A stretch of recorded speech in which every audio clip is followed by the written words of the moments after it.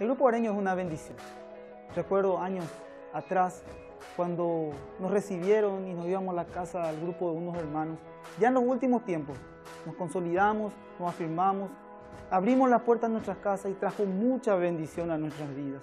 Trajo una unidad familiar. Y desde ahí empezamos también a impartir lo mismo a las personas que venían a nuestro hogar. Y no solamente eso, sino también mis padres, mis hermanas. Todos fuimos consolidados por medio del grupo hogareño y hoy somos parte de esta gran familia.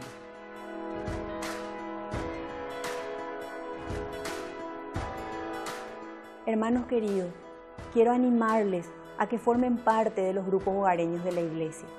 En este tiempo tenemos la oportunidad y por sobre todas las cosas la gracia de Dios de afianzar nuestra fe en Él, de crecer como hijos suyos y de crear lazos profundos de amor entre hermanos. Le doy gracias al Señor en primer lugar por este privilegio y a nuestra congregación por la visión. Y de verdad, hermanos, les aliento a que se unan y sean parte de los grupos hogareños.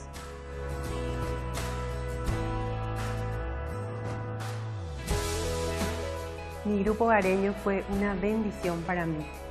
Primero, antes que nada, aprendí la palabra en profundidad.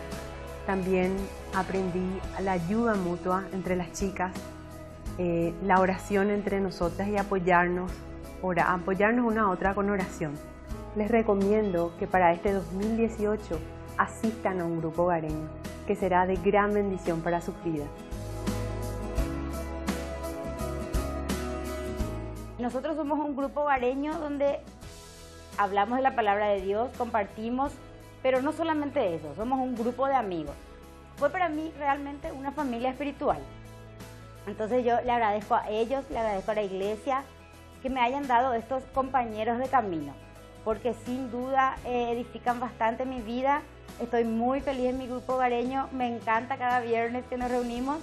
Les agradezco y le animo a las personas, que especialmente los que están en mi caso, para sentirse acompañados, para sentirse con una cobertura, que se adhieran a un grupo hogareño.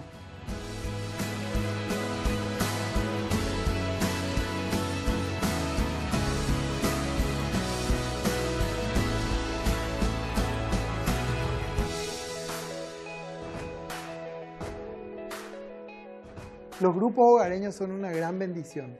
Forman un brazo importantísimo en la iglesia porque nos ayudan a tener comunión más cercana entre los hermanos. A veces, como somos tantos en la iglesia, ya no nos conocemos todos, pero los grupos hogareños permiten que los hermanos sean consolidados. Y aparte de eso, la coinonía, el compartir alguna comida, el estar juntos, el compartir nuestras penas, nuestras alegrías, hace que todo el tiempo la gente sea más afirmada en los caminos de la fe.